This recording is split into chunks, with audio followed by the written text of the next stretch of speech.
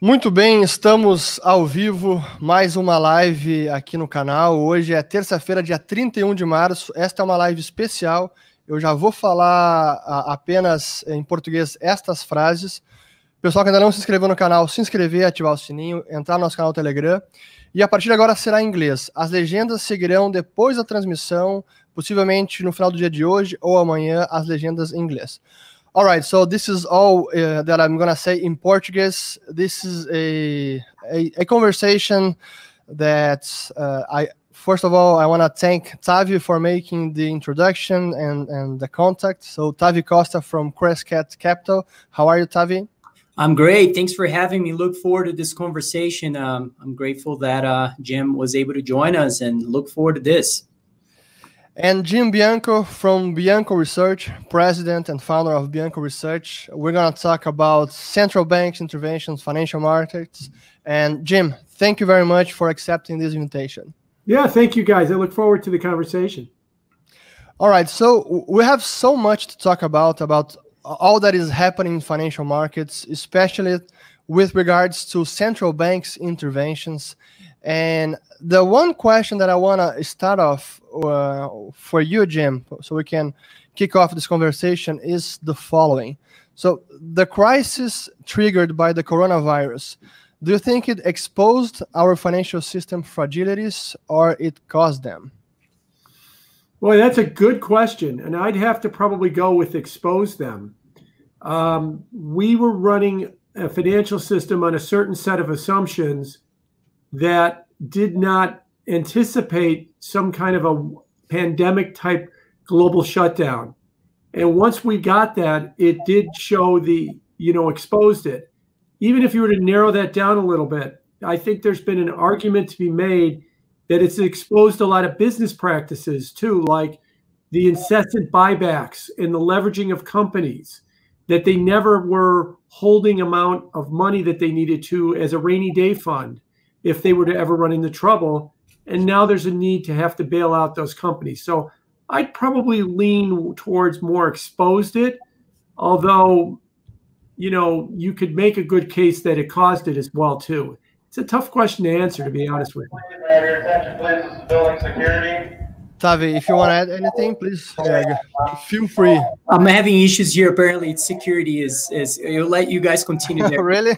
yeah, I don't know what's going on. One sec. But uh, okay, great. So one thing that I was uh, I've been paying attention for a long time uh, regarding the Fed's actions and policies is that since September last year, so 2019, when the first liquidity crisis uh, happened in the financial system in the U.S., the Fed started intervening heavily, reducing rates, uh, incrementing the the overnight repos, and that to me suggested that something was not right or some fragilities or maybe it was the business cycle coming finally to an end after 10 years of expansion. And the coronavirus was as you said the, the sudden stop of economics sudden stop economics that caused that that made it made it the whole thing even worse. But if you weren't for the coronavirus do you think we could end up uh, even without the coronavirus we could have a recession even without that? Yeah i do think that there was a real possibility that that could have happened. What um what you're talking about happened in september let me put some some color on that. Sure. Um, in the post crisis during the crisis of 2008 we correctly identified that the banking system over levered itself over leveraging itself means that the banks had a certain amount of equity and then they could give out loans and buy securities above that in multiples above that. In the case of Lehman Brothers, they went from $1 of equity to $40 worth of securities. That we decided was too much. So we've put together a myriad of rules over the last 12 years to pull back the banks. Uh, and those rules are not just Federal Reserve rules. Those are Bank of International Settlement rules. There's a Basel III. those are FDIC rules. Those um, are European banking rules, ECB rules, all the way up and down the line. So we limited what banks could do in terms of leverage. You get to September of 2019, and the markets had been growing and growing and growing. Bank assets had not been keeping up. They hit their limit as to what they could do. And that's when you started seeing problems in the repo market. The Fed came in with a patchwork, and that patchwork was to hand the banks extra reserves to try and keep that market going. And it worked for a while, and then the coronavirus hit. But I do think your larger point is right. Where were we before the coronavirus? We were in year 12 of an expansion. We were showing serious signs of strain in that expansion. And that's one of the reasons why I've pushed back on these arguments But well, let's look at what happened to the financial markets during the Spanish flu or during the Hong Kong flu in the 60s or during SARS or MERS or the bird flu or, or the swine flu. A lot of those came in very different environments. The Spanish flu came literally at the end of World War One, completely different financial financial system environment. SARS, two days after the Iraq War started in 2003, was when SARS was declared a pandemic. Markets were down, risk was was high, people were very defensive. Then you declared a pandemic. You got a completely different response out of markets than what you had here the 12th year of the longest recovery ever, raging markets going, signs of strain that you would see at a peak, and then you got the coronavirus. So that's why I think that this is giving a much different response than those did in the in the in the past. Guys, I'll, I'll, sorry about that. That was a security guard It was uh, uh, just telling us uh, uh, uh, some giving, just giving us some information about the building. But I have. Uh, They're not going to take you away, are they? No, no, no. No one is in the building. That's what's funny. I'm, I'm, probably the only one here. So, um, but I would like to share a a chart with you first to to then um, perhaps um, perhaps you can you can comment on those charts. let's see here. So just share my screen. One minute. All right. So can you see it? Yes. All right. So uh, my first question to you is is is regarding you know the this environment that we're in in, in terms of the macro uh, economic setup in general. Um, the, what are the industries that you see, the the sectors or, or assets? It can be even an asset class that can benefit from this sort of QE to infinity lunacy that we're, we're hearing recently. Um, more recently, as you see in this chart, uh, S&P 500, you remember when everyone was saying that it was supposed to be highly or positive correlated to uh, to the Fed balance sheet, and then we saw this correlation completely break. This chart should be updated because there is a relief bounce more recently, but also there there is a, a massive increase in, in the balance sheet even from there. Uh, one one industry that I've been focusing on, and I would like you to comment on that if you if you have any views on it that perhaps could benefit from this, is the only industry I know that is still trading below the 1980s uh, levels, and at the same time is likely to probably um, uh, benefit from this whole environment. So maybe perhaps you could uh, you could give us your view on on on what you think about about those those two charts and, and maybe something you're seeing on that. Sure, and uh, if I could, I'll I'll comment on those charts. If you could show my screen, I want to show a couple of charts that are along that screen. Um, you showed the Fed balance sheet. Uh, let me just get there. And here's the Fed's balance sheet updated, and I can draw on the screen here. Uh, and you can see that it's really taken off to new all-time highs. Is what's happened with the Fed balance sheet.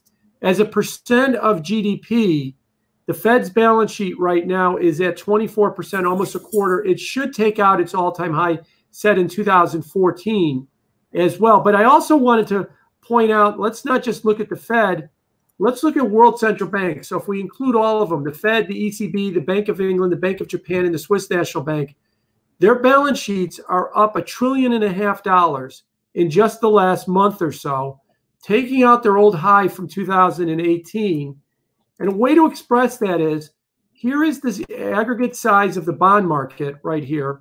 Here's the aggregate size of all those balance sheets. They now own 31% of the bond market, up from 27% just a month ago. And their all time highs of 33% should probably fall in the next couple of months. The amount of stimulus that central banks are putting into this system is unprecedented. Deutsche Bank says it's 30 trillion annualized is what they've committed to. That's larger than the, the capitalization of the stock market. We passed a $2 trillion stimulus bill on Friday. Two hours ago, Donald Trump was saying he thinks it's time they start another $2 trillion infrastructure stimulus bill. I think that what you're going to see in terms of assets is we're going to have a V bottom, and that V is going to be in the second or third quarter where we have all the layoffs and the contraction of the economy. The virus will go away, will rebound. I don't think we're going to go all the way back to the high. That's your L. And on the backside of that, we're going to have inflation. Or as I've even joked about, if we don't have inflation, if the Fed could run their balance sheet, which is five and a quarter now, the estimates are it'll be 10 within a year. If the central bank, world central banks can run theirs to 25 or 30 trillion dollars, and we could get those balance sheets up at new records, and we don't have inflation, then we could delete the word from the dictionary. Because if this doesn't produce inflation, yeah. nothing will produce inflation. So I think that the play here is for now, you're going through a contraction. Nominal GDP is going to contract. Stock market's going to struggle, I still think. Um, but when we start seeing the peak in viruses and coming out of it, stimulus is going to be the order of the day. And that should produce inflation. And I think that all the inflation beneficiaries will go. If it doesn't initially, don't just keep doing $2 trillion a year, $2 trillion, $2 trillion until it does uh, as well. To your question about gold, that has been one of the more confounding things that I think has been gold. In theory, gold should be going ballistic. It's not going ballistic.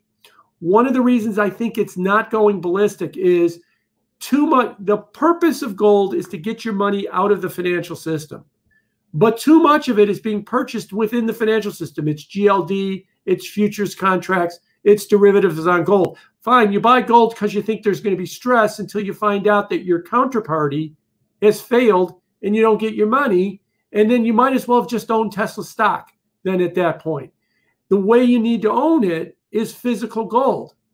The premium that the physical gold is getting over the COMEX price is near a record and there's shortages galore. So I do think that eventually gold will make a run. But I think that the structural problems is it's not GLD. It's not futures. It's go buy gold coins and put them in your basement. And a lot of people don't want to do that or don't know how to do that. And even if they have the motivation to do that, you call up a coin, coin dealer, they don't have any. So that's going to take time. It'll eventually come with gold. But I do think that that mentality has to change. I, I just want to go back to, to Jim's points about central banks' balance sheets uh, skyrocketing uh, across the globe. And with all these stimuli, stimulus uh, packages, not only monetary but also fiscal, the we, we might not have price inflation in the sense of goods and services like the CPI or the PCE, but if all this money creation by the Federal Reserve keeps going directly to financial markets, it might only inflate again financial assets, unless this two trillion uh, fiscal bill, stimulus bill, actually gets the money to the people. So if the people start spending, I think we can see inflation even faster than people uh, uh realize. Uh, can I just jump in on that real quick? Of course. Not only um, last uh, over the weekend, Donald Trump made a comment that the way that they're trying to do this stimulus is um, uh, the the way they're trying to do this stimulus is that they're they're trying to get it out in the market in a matter of days. And if they don't get it out in days, he said Congress is going to come back and they're going to change the rules so that they're going to get it out in days. The way they're doing it now is they're saying to all the thousands of banks in the world, uh, you hand out the loans and we'll reimburse the banks. But if you don't get that money out in days, we'll just have the government do it. So I think they're damn well intent on making sure this money gets out there and making sure that this money gets spent and it gets spent as quickly as possible uh, as well. So I 100% agree with you that one of the things that may happen is, is that this money may never make it into the economy, but boy, they're going to move heaven and earth to try and make it, it get this money into the economy to make sure that it does go. Just before uh, uh, switching to to Tavi, just one one uh, additional point there is if if the Fed or if the, the the Congress if Congress doesn't make it doesn't cannot make the money get to Main Street, uh, what happens uh, in the case of the Federal Reserve uh, printing the money and getting and getting the banks to making all the loans there? If I just let, me re rephrase it, the way I see it is that right now we have because of the coronavirus we have a huge supply shock. We also have a huge demand shock. So we could say those two effects they offset each other, and that's why we're not seeing price increases. But on the other hand, even if the Fed gets the money to Main Street, if Congress makes makes uh, the money gets to the people, get to the people, we might even have a higher demand for money. So people are seeing all everything that is happening and say, well, I might as well just increase my liquidity needs and hoard this cash and not spend it. So we might be in a situation that even with the money getting to the street, people will not spend it. Do you think that's possible? Oh, I definitely think that that's possible. That they they they they won't spend. We don't know how they're going to react with this money, um, but we do know that the amount, the scale of the money that they're committed to, which is six trillion dollars, which is twenty five percent of the economy, which we've never seen before, is unprecedented the amount of money that we're going to see at least at least committed. But you're right. Ultimately, you want people to use this money and buy cars and buy houses and do things other than buy groceries and cleaning supplies. And that's going to be tough to get somebody in this environment. I don't know how somebody's going to buy a house in this environment. Most people won't even let you in their house because of the fear of the virus to actually look at it, to actually buy it. I don't know anybody who's going to want to go to a car dealership to buy a $30,000 car. I don't even know if the car dealership's open. And again, I don't know if they're even going to let me test drive it without me having to be sitting in a hazmat suit. So you're right. That money's going to be there and great. I'll go buy some groceries with it and I'll go buy some disinfectant wipes. But, you know, am I, am I going to buy serious things with it to really get the economy moving? That's going to take some time. But I do think that's why I said on the backside, when the virus peaks and it starts going down and we start returning back, that's when I think we could really start to see the burst of the money. So I don't think you're going to see inflation in March or April or May, but in the fall is when you could definitely start seeing it. In the fall, when we start going back to work, assuming that you know that we start having some return to normalcy, we've stuffed everybody with money, vacations, cars, other things that they could spend their money on uh, along those lines, then you could start seeing it, and then maybe we'll start seeing that inflation. Tavi, you can jump in. Yeah, let me make a comment. So, uh, first of all, one thing I've, I've, I've, been looking at for some time, and I, I think would be interesting for comment on that too. Uh, but it's it's uh, one major reason why I think we haven't seen inflation yet is because of the the commodities market. When you look at the commodities market since the 08 or so, uh, most commodities are either down significantly or flat. Um, you know, you can mention many, you know, oil, uh, nat gas, agricultural commodities. Um, the list goes on and on. And I think that that had, uh, you know, it's it's very it's it's a little bit difficult to see inflation in such a low uh, commodity prices environment. Uh, the number one, maybe you can comment on that too. But also in terms of intervention, especially on the side of of, of the government. Um, one of the biggest questions I've been trying to ask myself here is is who is going to to bail out whom? Um, you know, we're we're seeing now no earnings essentially in, in corporations right now. Uh, corporate earnings are probably going to be plunging. Uh, we have no consumption as much as we had in the last few uh, quarters or so. So in terms of tax revenues, you know, it's going to be very challenging. And then you have the government spending side that is surging, uh, as you know. And, and at the same time, you have uh, economic activity that is falling to pieces. Um, and you know, I think the deficits, uh, it's, it's probably uh, somewhat obvious if you look at relative to GDP, deficits relative to GDP are probably likely to rise significantly here. Um, uh, well, you know, do you have any estimates, first of all, for uh, deficits relative to GDP uh, in your firm, in your opinion? Also, what are what are the impacts of that in the short term? Yeah, if you look at deficits to GDP, um, right now the deficit at one trillion, the the old deficit at one trillion dollars is estimated to be somewhere around four percent of GDP. The estimates I've seen are now that it was 18% is where we're going. So that's putting it at around four or five trillion dollars, the deficit as we move forward. And then Trump today said, let's do another two trillion on top of that. That deficit would be the highest in American history, except for 1944 when we were financing the uh, financing World War II.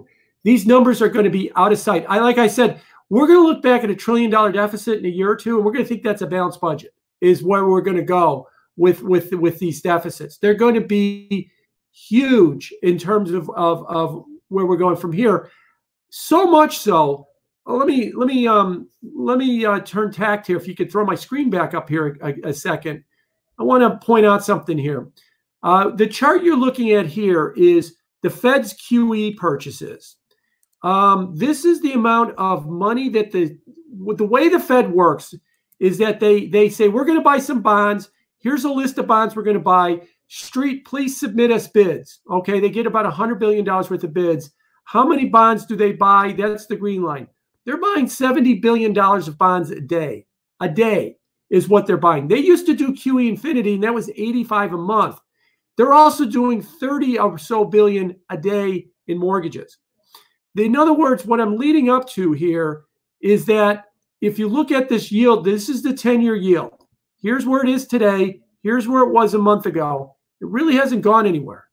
The Fed is buying half a trillion dollars of bonds a week. Yields, the 10 year yield should be zero in this market if there was any normalcy to it. The reason I think it's uh, going sideways right now is that we are worried about A, inflation, and B, giant deficits. I like to say I started in the bond market in 1987, 33 years ago. For 33 years, I've heard people say to me, well, we're going to have these big budget deficits and we're going to crowd out. The government's going to have to borrow so much money that we're going to see interest rates go up. They're going to crowd out everybody else. And for 33 years, they said that's not a thing. It doesn't work that way. But coming out of this virus and coming at the numbers that we're looking at, that actually might be a thing. So, really, what you could wind up having is the fear of inflation after everything is behind us. There'll be a contraction first. The amount of stimulus that we're seeing right now, um, now leading to gigantic budget deficits and huge supply, you could see interest rates soar on the back end of this. Not in the middle of the crisis, not in the second quarter or third quarter. They'll maintain their safe harbor status, but coming out of this, you could see much higher interest rates. If I get back up to the early part of your question about commodity prices not moving, a lot of that's China. China is the is the factory of the world. Copper, iron ore, you know, aluminum, crude oil, all that stuff goes into China, out comes finished goods. China is trying to restart their economy. We could debate where they are, but they're not all the way back. And now China's customer, the rest of the world, is in lockdown. So a lot of the commodity depression you're seeing right now is largely because China can't get restarted to the degree they want. And even if they did and they start making iPhones, all the Apple stores are closed. No one's buying them right now. Now, maybe later this year they'll start buying them, but that's later this year. And then they'll have an inventory to work off. So I think that's why you're seeing the depression um, in commodities as well. But eventually, as we get going, if we start to see the inflation come, you'll start seeing more traditional inflation measures like some of those commodities, like gold and silver, start moving higher. Eh, I just want to ask, um, what role does does oil play into all this? Because uh, I I've heard the thesis that we might have not only negative interest rates but also negative oil prices. it's unbelievable. Well, Fernando, can I actually, since you're of asking course. the question, um, I would like to share a few charts on that and have Jim comment on oil. Uh, that I think these are charts that I'm looking at. I'll be prob probably. Can you see it now? My my screen. All right, so uh, these are probably charts that I'll I'll be tweeting maybe today. Um, and um, what's interesting here is when you look at this, you know, one one thing that is is being crazy is the contango right now and the in the future curve. You can see there in the second panel of this chart, largest contango ever for the six month out uh, contracts, and you can see that how previous times when we had this distortion, it also uh, marked some major turns in oil prices. Um, I see this as well, sort of a double bottom, oil relative to the S&P 500 or overall equities. Um, also doing a, a, double bottom here as well. And you, you can see that uh, previous times, like the tech bubble, this was actually in 1998, and oil was up massively after after we reached that level. Um, you have the credit spreads in, in red here for energy uh, reaching extreme levels while oil prices have been declining. Well, it makes sense, but this divergence is kind of extreme now.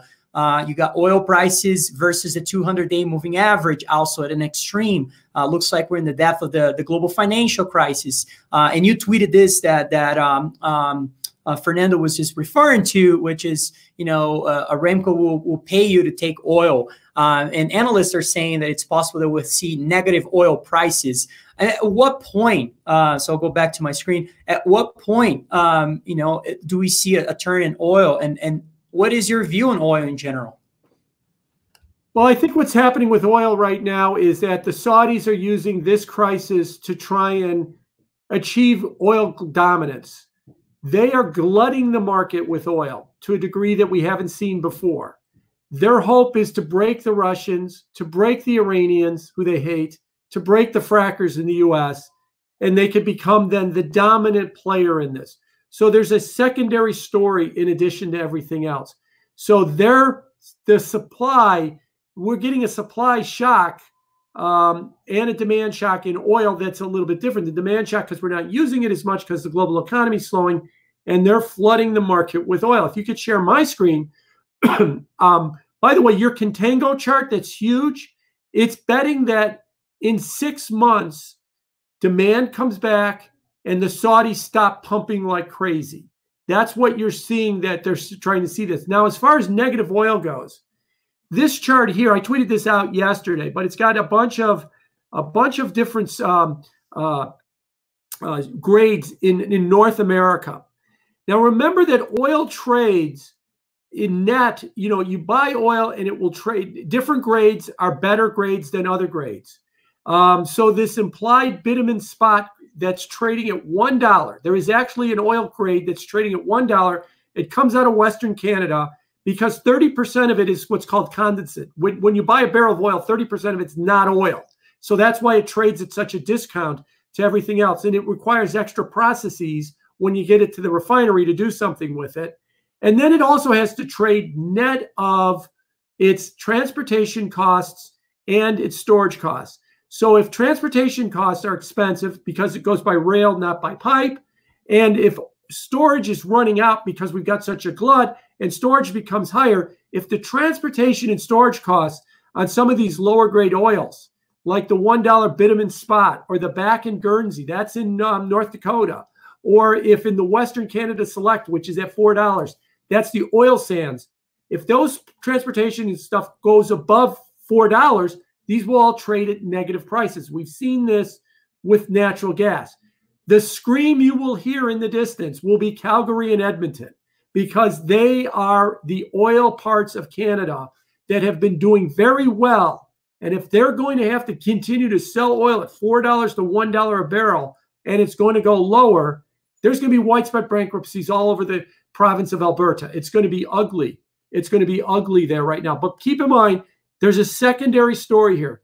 The Saudis are pumping like mad because the Saudis want to break everybody and go back to being the dominant player. They're tired of having to fight with the shale producers in the United States, with the Russians, with the Iranians, as to who sets the price and the dominance of oil. MBS, Mohammed bin Salman, he wants to be the man in oil, and he's using this opportunity. So that end, that how do we get a resolution to this? You know, I know Trump is talking to all these sides. I don't know how he finds a, a way that everybody can declare victory and then stop pumping oil like crazy. So I think this is going to stick around for a while. What's happening with the with the price of oil? Interesting. Um, yeah. Go ahead, Tavi. Go ahead. Uh, no, I, I, think that's a that's an interesting view. Um, uh, and uh, but it, you know, related to uh, you know, obviously uh, the real question is how much of that is priced in or or not. Um, but uh, in terms of what's happening with equity markets and economy deteriorating uh, overall, you know, how much do we need to see of a deterioration until we see some large institutions in general to uh, to start fail? Um, um, you know, we, we've had a, a, few issues with the ETFs uh, outflows recently, which is that whole passive investment bubble. Um, that is, you know, my view at some point will be will cause issues. You have the, those, you know, large amounts of, of risk parity strategies all, all over the world uh, with people long equities and long uh, bonds. And if, you, if your equity part of the book is, is losing money in a significant way, uh, while your fund is underperforming, now you're under uh, facing challenging uh, moments for redemptions.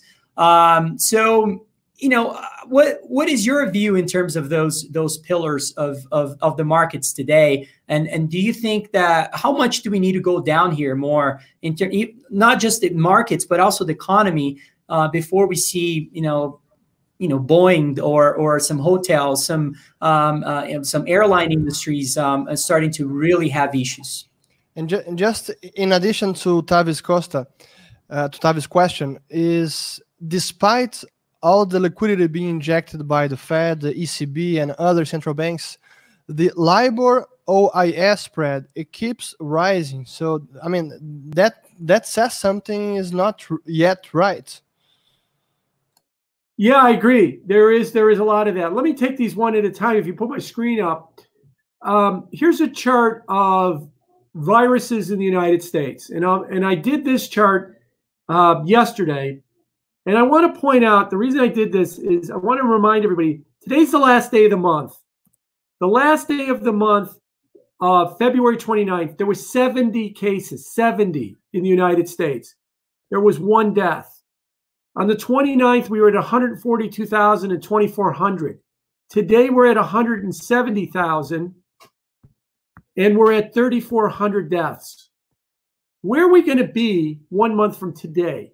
If we've gone from 70 to 170,000 and 1 to 3,400 this month, and everybody says that next month, in terms of viruses, could actually wind up being worse. Where do we wind up going? You tell me how bad this gets. I'll tell you how much damage, long term damage, we do to the economy. Because we all want to talk about how many people are going to lose their jobs in April, how many people are going to lose their jobs in May. Then the virus will peak and everybody will go back to work. But not everybody's going to go back. There's going to be some long term changes. Steven Major, HSBC, has argued the handshake is gone. We will never do handshakes again. It makes sense. And if we have that kind of cultural change, we're going to have a lot of changes going on in, in our economy. So how much bad, how much worse is it going to be? So the next chart I'm going to throw up here at you. Uh, let me find my. Um, I know where it is. All right, right there. this is my um, drawdown chart. So what it shows here is it shows a bunch of indices. So it starts here on January 1st at zero. The S&P is 20% off of its high. That's the S&P right there at the top. All of these other ones right here are financials. They're all these financials. JP Morgan is down 28%. The bank stock index is down 38%. In other words, the financials have done far worse than the overall market.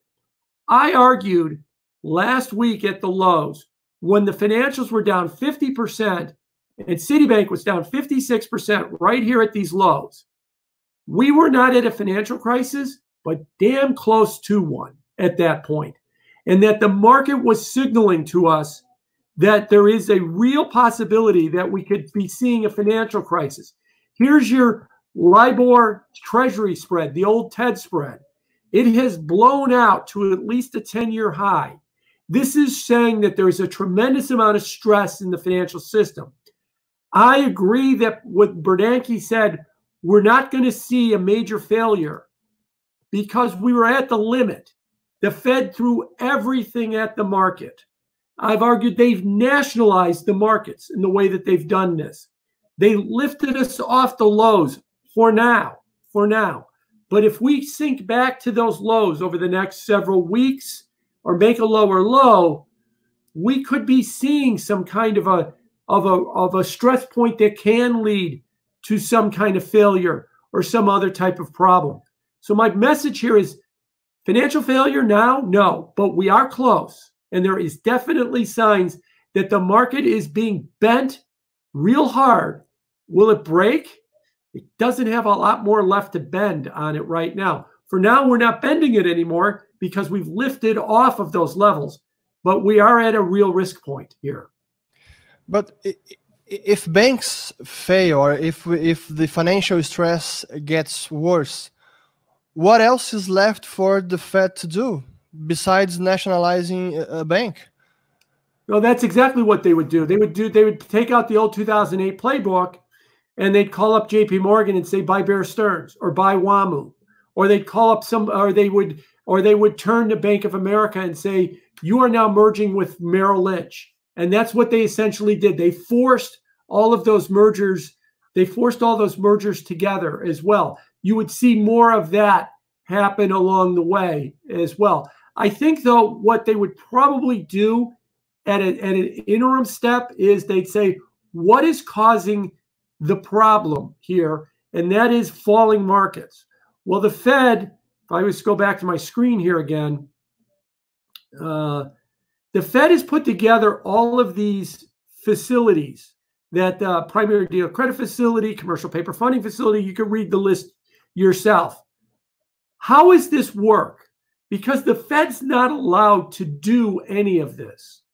And the answer is the Fed is not buying corporate bonds. The Fed, although they committed to buying ETFs, fixed income ETFs that own investment grade bonds, they're not doing it. The Treasury is doing it. They are putting for each one of these facilities, they are putting together a fund called the special purpose vehicle. The Treasury will commit money to that fund and be at what they call a first loss position. Now, that's a bunch of high finance talk for something very simple. The Treasury will own the fund, not the Fed. The Fed will provide the financing, and then they hired BlackRock to do the trades. So the Fed is going to just finance the Treasury. The government is buying corporate bonds. The government is buying ETFs. The government is buying commercial paper. The government is backstopping, providing loans against commercial paper. The Fed is just giving the financing. If these markets sink down lower, they'll buy all of it. They'll just ratchet up the purchases that they'll just try and single handedly support those markets at higher levels to prevent that financial crisis. So instead of waiting for the firms to fail, they'll say the assets that the firms own that are falling, we're going to stop them from going down. Now, my fear of this is that long term, this is a problem of nationalizing markets. You reduce the market signal. Look, capital markets work because we watch markets, they give us signals, they give us ideas on where we're supposed to allocate our money. If you remove that, and you're going long term, if you remove that, you wind up with distorted signals, malinvestment, which is bad investment, and private sector players, funds and, and, and the like, they can compete against somebody that's got unlimited money that can write a number on a check and it doesn't matter to them. They leave and they make the problem worse. So in theory, what the Fed has done now, okay, you're trying to stop the liquidity problem now. But if you stay there long term, it's a real problem. Last thought for you on this thing. We did this in 2008. Not all of this, not to this degree, but we did a version of this in 2008. And then we didn't understand it. And we said, Ben Bernanke, you're the one who came up with this. You run this. And Bernanke said, okay, we're going to do this for a little while. We're going to get out. And we did. 12 years later, We understand these programs. We understand it's the government buying, not the Fed. The Fed's the financier. We have a president who blames the Fed that the Dow's not 10,000 points higher, who wants negative interest rates, who wants the Fed to go hog wild with all their uh, with all of their financial engineering. We just gave him the tools to the Fed's printing press to do exactly that. We have merged the Fed and the Treasury as one. And the Treasury can now dictate to the Fed what to do. Donald Trump can dictate to the Fed what he wants. The question you have to ask yourself is will he show some restraint in an election year when he's trying to get elected? I think I just answered the question right there. It's an election year. You've given him a printing press to try and ramp markets higher to get reelected. I think we know where we're going to go with this. Unless somebody else, a Mnuchin, a Powell, really stand at the doorway and say, absolutely not, even if you want to fire me, not going to let you do it. So we'll see where this goes, but it's a dangerous game that we're playing by nationalizing these markets through the government with the Fed being the financier. Uh, well, I mean, I know, so I know. I'm just such no, a, I know, I'm, I'm a Johnny Raincloud here. Uh, there's so much know, to unpack there. It's, yeah. it's, but I mean, this, the one, the one point you, you hit the nail uh, on the head because we're talking about price discovery and the prices they do provide the signal especially in the financial markets especially in interest rates. And if the fed is suppressing this i mean we can really have long-term damage. In a way i think this is what what already happened because of the 2008 and 2009 and qe 1 2 and 3 we already had had have had some of that we might we might have even worse in the upcoming years. So that's and how do we unwind this? How do we go about really reducing the fed's balance sheet really increasing normalizing rates? It seems impossible. We tried to do this in december uh, in in 2017 and 2018 i'm going to share my screen now. Hold on. Here. This is the net unrealized gains or losses of the large large chartered co commercial banks in the US. So these are the securities uh, held for sale, available for sale. So this shows us how the banks could not take higher interest rates back in December 2018. These were huge potential losses in the financial system. Now, given that we are already back to zero interest rates and the Fed is intervening way more, it's going to become ever more impossible to unwind this. So, where does this lead us? Well, that's a good question. I think, uh, you know, I'm looking at some of the um, uh, the comments here. Stop the bailouts. Let them fail. Uh, careful about that. That's not a walk in the park. You know, to let all these firms blow up. I mean, you might you might like that from a um, an emotional standpoint, yeah, screw those bankers, but you might not like the consequences of that. I think what the where the Fed is right now, where the Treasury is right now, is everything we're doing will pose a challenge post virus. We got to get post virus. That's where they want to be. They want to be post virus for starters, and then we can then start dealing with this. But make no mistake, post virus won't be a walk in the park. I think it'll be inflation is what is what they're going to wind up having us deal with as well. And we'll have to see what other problems we have, but it's not going to be inter- easy.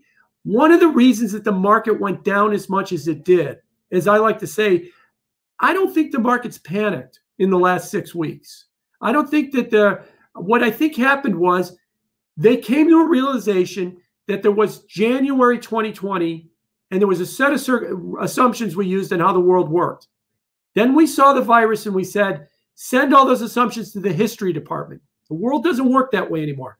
There's a new reality in the world. We have to reprice to it. Markets don't complain, they don't explain. They just say it used to be 100 and now it's 75. And we're not going to argue with you about whether it should be 98 or 97. It's just 100 to 75 is what we would what basic what we've been doing. And we've been yelling, stop, don't do that. And the Fed's been yelling, stop, don't do that, and trying to prevent it. And I think that ultimately they can't over a long period of time. They can for a little while stop it. But that's what we're doing is we're repricing, and part of that repricing is the post the post virus world is going to have problems too. Now, maybe what they're saying is, Jim, you're right. We're going to go from 100 to 75. But if we had done nothing, we'd go from 100 to 40, and that would make it much worse.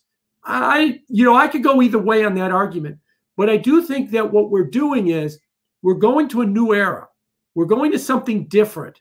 I think all those people say, got to buy the dip, you know, that we're going to come back, we're going to be stronger than ever. That's mean reversion mentality that nothing has changed and that we're going to go right back to where we were before. That's possible. I just don't think it's likely. I think we're going to have a different world. And in that different world, it's going to be lower valuations, is where we're going to be. Last offering on that. In 1980s, we had an emerging market crisis, but it didn't uh, hit the developed world. So the developed world could sit there and say, hey, you guys in the emerging markets, don't overreact. In 2008, we had a market, we had a crisis that hit the major countries of the world, but the emerging markets could say, hey, you guys in developed worlds, don't overreact. 2020, it's everybody. There's no one's immune from this right now. So if we decide that there's a new era and we have a different valuation, the Europeans are not going to say, you're wrong on that. They got hit as bad as us. The Asians aren't going to say, you're wrong on that. They got hit as bad as us. So everybody's in the same boat as well. And that's what's different.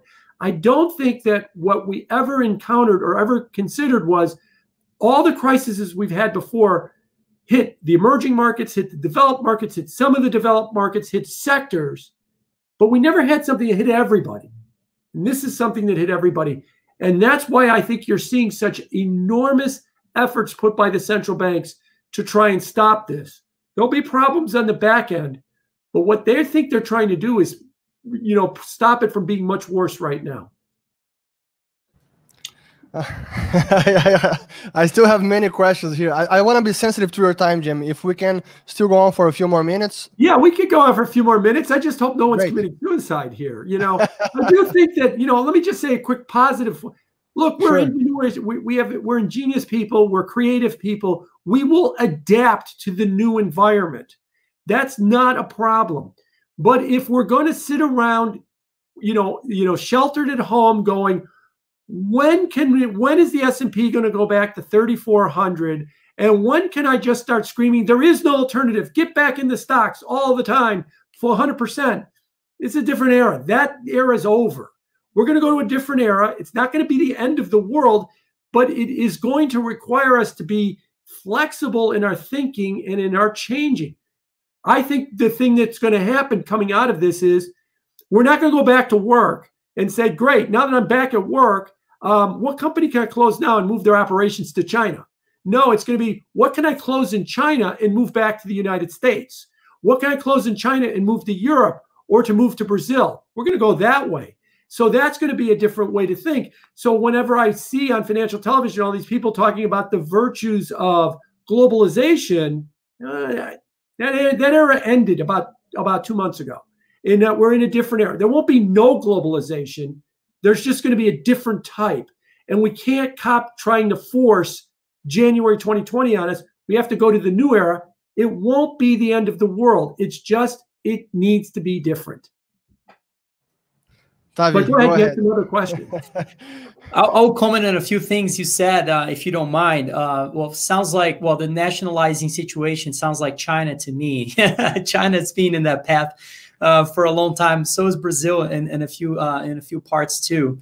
Uh, and it's sad. I hope I personally, I hope we don't see that. Um, but you know, kind of trying to put together what you all, all the stuff you said, and one of the things you said you know, this this race to the bottom on oil prices in general, and then you know the situation with the virus outbreak getting worse, which probably is linked to the idea of uh, worse e macro indicators for the next month or so. Uh, labor markets becoming, you know, another issue as well, more and more. Um, and then at the same time, you comment on on Donald Trump becoming the, the new leader of the of the Federal Reserve, and um, which was probably the case before, but now more than ever. Uh, and with the the, the special um, uh, the SPVs that you were commenting on, um, is do you think it's possible? Number one question: Do you think it's possible that they can uh, reduce volatility to more of uh, normal levels. I understand you said low multiple. I'm talking about more volatility until elections. Uh, do you think that obviously that's the goal from the Trump's perspective, or seems to be the goal? Do you think it's even possible? In other words, will this liquidity be enough to um, to offset you know this this turmoil in the markets? Um, and uh, in terms of the globalization uh, comment you made, it's it's very interesting that you know I've, I've, I've been thinking about that as well. The largest companies in the world are from the U.S. Um, and if you're thinking about you know the logistics of coming back to the U.S. as well, you would think that there will be you know less globalization would cause less exports uh, among countries in general. Um, and and that is a major source of dollars, you know. So so there will be a lack of dollars outside of the U.S. Another reason why we're seeing repo markets now becoming inter, uh, international, not just in the U.S. So will that become an issue as as we get into a world where um, where it's more deglobalized in terms of the dollar now? So two separate questions: one on Trump, and if he is able to reduce the volatility to normal, and the second one on the dollar.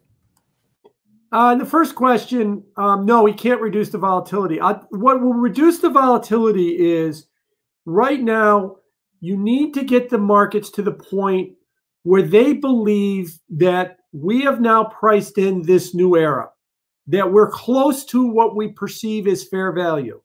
When that happens, private sector buyers will emerge, funds will emerge, they will buy and hold. Right now, the only people that have emerged in the last week are people that think I could buy spiders right now. They'll rally 15% in the next four days and I could sell it at a profit. There's not people saying this is the new reality, should be priced here. And I want to own it for five years starting right now. When we get to that point, volatility will find some kind of equilibrium. The, the, the volatility we see now is a signal we're not at equilibrium. That's why if you uh, if you uh, jump to my screen here again, I'll show you something real quick about uh, volatility. Um, let me just find the right chart here real quick. This chart here, um, what this shows you is, I know this is a little hard to read for some of you, but I'll explain it. These are the 20 biggest days in the stock market's history since 1926. The S&P 500, the 20 biggest days. This shows you what it's done the next 100 days. By the way, a couple of these days are this month. We've had a few of these days this month on this list. On average, 100 days later, the stock market is 18% lower. 70% of the time, the market is lower. What this chart here shows you on the bottom is we had a bunch of these days up here in 2008. That was here. By February, by March of 2009, we were, as it says here, 40% lower. Whenever you see this kind of wild volatility, it means a market is not at equilibrium and that it most likely needs to go lower to find that equilibrium. And when it does, then the volatility goes away. Trump doesn't want to hear that. He wants to hear volatility goes away with the stock market back at 3,400, not volatility goes away with the stock market at 2,100 um, as well too. But th- the only way we go back to 3,400 is if you think this is all going to be forgotten and we're just going to go right back to where we were in January. It's possible, like I said, but I don't I don't buy it. So I don't think that the, the volatility we see, they can't they can suppress it for a little while, but not longer term. Only a only markets reaching what the collective wisdom thinks is fair value real buyers start saying, I'll now own it at these prices because I think it represents the new reality's fair value. That that could definitely get us there, but we're not we're not there. We're not there yet uh, as well. And what was your second question? It skipped skipped my mind here real quick. Yeah, no problem. That was related to the dollar in terms of the deglobalization, which is more of a, a macro trend, probably more in the medium to long term that you're referring to, perhaps, maybe even short term, depending on a few companies uh, already getting out of China in terms of used to be the uh, or it is still the manufactured plant of the world. But I'm with you. I think it's going to change. But what's the impact of that on the dollar overall? Well, you know, I like to joke about the dollar that, you know, should the dollar remain being the reserve currency, and I and I've always said for years the answer is no. It shouldn't be the reserve currency. But you show me an alternative. As soon as an alternative shows up to the dollar, it will stop being the alternative. The euro is not it. The yen is not it. The yuan is not it. Bitcoin or other cryptos maybe in the future might be it, but none of them are ready for prime time right now. So the reason the dollar is the reserve currency is it's a bad choice, but all the other ones are worse. Is is why it stays it stays there. With the reduction of um, of globalization, not the elimination of globalization, that will never go away. You know, the Swiss will always make good cuckoo clocks and stuff like that. That that won't always go away. But things with the reduction of it, I do think you'll see less trade. You'll see less emphasis on the reserve currency as well. But uh, ironically, I think what it'll do is it will also lead to the dollar safe haven status. One of the reasons we have a shortage of dollars right now, everybody's demanding dollars because in this environment, and it's so uncertain and there's so many problems. Where do I hide my money? And the answer is I don't know where, but it's going to start with a dollar based investment. So everybody wants dollars.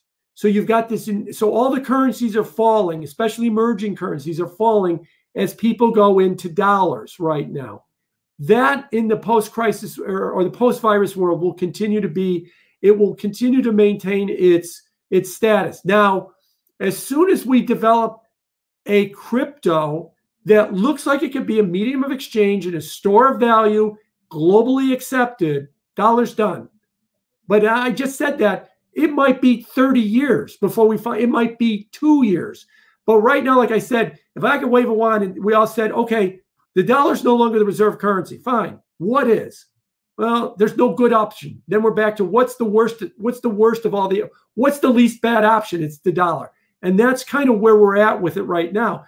But I think what the administration has, or what the American public has to answer is you're not the reserve currency because you're good. It's because everybody else is worse. And as soon as somebody else comes in that's better, you're gone as the reserve currency. And like I said, that will probably be some crypto that is not created yet that's coming soon in the next couple of years that we don't even know what the name of it is if I had to guess. But we're not there yet, so the dollar sticks around for a while as kind of the top dog. I have two final questions. I mean, I, I could go on for another hour here, but we can't. Mm-hmm. But I have two final questions. First one if inflation really picks up, how will the Fed deal with it? Will it just will it just change the narrative? Maybe oh now we can tolerate four percent inflation or six percent. This is good for business.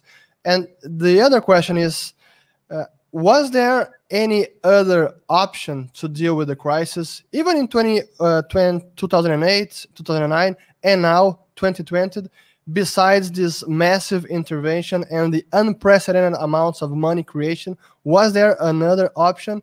And if you were there, and I understand you were interviewed for the job at the Federal Reserve Board, how would you have dealt with the crisis? Yeah, yeah. Um, on that last part first, that that's uh, that is public information that I did go to the White House last year and I did interview to be a Federal Reserve governor. Um, and then they picked uh, Chris Waller and Judy Shelton. I know both of them fantastic picks. I was honored to be able to be considered. Uh, I, I, I got a chance to go to the West Wing of the White House on business. Not many people can say that, and it was uh, it was a great uh, experience as well too. So I'm happy that uh, uh, that that they that they did that. As far as your question goes about inflation, um, yeah, they'll tolerate more inflation. They will tolerate more inflation, and um, they will just say, you know, the two percent target's now a three percent target. If interest rates go up too much, they'll try and QE them back down, and they'll constantly manipulate the markets around the edge um, as well. But I think they'll consider that a victory. I think what they'll say is if later this year or 2021, the economy is recovering and there is inflation, interest rates are going up, markets are a little wobbly because interest rates are going up. Remember, higher rates, lower multiples, um, you know, your PE ratio should come down. They'll say that's a win. It's a win over everybody sitting at home fearing that they're going to get sick and die. So that's that's a they'll they'll, they'll think of it in those terms um, as well. The question about what I would do, well, I, I, tell you what I do, and they throw me out of the room. Is you know I'll, I'll I'll say the two dirty words that you'll never hear a central banker say: trust capitalism. And I'll give you an example. Um, tomorrow, 81. Let me back up a second the, the the the ground zero the fixed income markets are not in a good place right now the ground zero of where they're not in a good place is the commercial mortgage market in 2008 it was residential mortgages that blew up. Today it's commercial mortgages. Why? Because i own a hotel and no one's in it. And i have to pay my mortgage on march 1st i have to pay my mortgage on may 1st i have to pay my mortgage on june 1st i own a business and I own my rent, and the government closed me, and I own my rent. I own a mall or an office building, and people have to pay me their leases, but they're going to fail because they're not in there doing business. So I'm going to come up short. To give you an example, there's a, a cheesecake factory is a is a restaurant chain in the United States. Cheesecake Factory last week announced they have hundreds of restaurants. They flat out announced we're not going to pay our mortgage April 1st. Why? Our stores are closed. There's nobody in them. We're not generating any money. We're not going to pay our stores. $81 billion of mortgage payments, commercial mortgage payments, are due April 1st. $81 billion is due May 1st. If I was at the Fed, they'd say, This is a crisis. And I'd say, No, it isn't. Well, what do we do about it? Nothing. You tell all of those commercial mortgage owners and you tell all of those in those restaurateurs you guys got to get in a room and work something out. You got to work something out between you two guys. Uh, it's not for us to just bury you with money. Cheesecake Factory, you got a problem. Commercial mortgage owners uh, that own the mortgages on Cheesecake Factory restaurants, do you want to take the restaurants and run them? No, you don't. You don't know how to run restaurants. So talk to them and work something out. Trust capitalism. I tell you, I, I was in a debate many years ago with a former member of the Monetary Policy Committee at the Bank of England and I said that. They said, What would you have done in 2008? And I said, A version of trust capitalism. And he pointed at me and he said, They will never do that. They will never do that. And I said, I know they don't do, do that. That's the problem. We constantly manipulate these markets. You know, there's some smart guys with mortgages, and there's some smart people at Cheesecake Factory. Just let them alone. They'll figure it out but we won't. We'll try and get in the middle and we'll turn on the printing press and we'll throw money at them and we'll say, okay, we made March better than it would normally have been. We made April better than it normally would have been. At what cost longer term? And that's the problem that we, we, we face right now. It's a mindset problem that we have more than anything else. Somebody said they're a bunch of socialists. Everybody's a socialist right now. That's the problem. yeah, We're all exactly. socialists. We're just arguing to different degrees. I'd argue to you, you get me cranked up here. You got MMT version 1.0 unfolding right now. That's what this is. Is it's a version of modern monetary theory. Print money and fix everything. And if you don't produce inflation, we're going to print more money and fix more things. And we're going to print more money and make more stuff free until we go too far is what we do. So I kind of hope we get inflation sooner rather than later to fail this experiment sooner because we're going to keep going down this road. Oh, let's make college free. Let's make healthcare free. Let's make cell phones free. Let's make rent free. Let's make everything free um, at, at that point. You know, just call Jay, tell him to turn the printing presses on faster as well. That's the problem that we're, we're, we're going to face. And what stops that is you get inflation, you get markets that reject it. The sooner they reject it, the better. We'll see. Like I said, they're not going to reject it on the down. They're not going to reject it over the next several months because we're going lower. But when we come back on the upside, we'll see what kind of response we get out of that. Jim, uh, fascinating discussion. Thank you very much for your time. Thank you very much for your uh, candid and honest answers. I mean, this is what we need, and I, I think it's it's uh, one of the questions of our time because this is going to impact everybody not just the US, uh, it's the whole world. Whatever it's being done there, it's even being replicated by other central banks, by other governments, and I think it's a an experiment destined to fail. It has failed in the past. People has people have forgotten how it was we have done monetary, modern monetary theory in Brazil many times in the 80s, in the 90s. I've experienced hyperinflation in my lifetime. I know how it is just to spend, to print and spend money. So it doesn't work. So I, I hope it does end rather sooner than later. Tavi, just your, your final words, and then I'll leave to Jim to say say goodbye. Yeah. Um, well, first off, it's it's uh, crazy to think about of an inflationary landscape, which I'm totally on board. It it would truly change the the macro scenario in terms of just think about the companies that would not be able to survive in such a, a, an environment. It's like the 1970s environment with much more debt on the corporate and government level. Uh, and that would be very difficult to uh, uh, to a lot of businesses. So I think that that you know that would truly change the whole landscape. But um, uh, on my last comment, I just want to say, well, thank you uh, Jim, for uh, for putting the time with us. Uh, we're, you know, I'm I'm big fan of your work. I think you were one of the, the, the, the few guys in the industry that really put the work in terms of uh, being an independent thinker. A lot of people like to say that, and I, I think you truly are. Um, so congrats for that. And I, um, you know, I, I, I looked at your stuff all the time. So thanks for sharing your views and and being with us. And Fernando, uh, thanks as well for uh, for having me on as well. I, am uh, just asking questions today, and it was fun. It was my first time interviewing someone, so uh, thanks again. Well, thank you, guys. I appreciate the kind words, and uh, I thank you all very much. And I'll just leave you with the optimistic tone. I would leave you with is it's going to be different, not necessarily bad.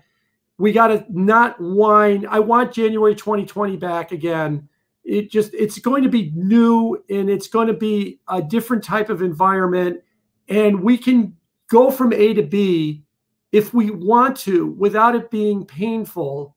Um, and the part of the part of the problem with the bailouts and everything else is there seems to be an implicit demand. I want it to be back to the way it was pre-virus and i want it to stay that way forever but it can't.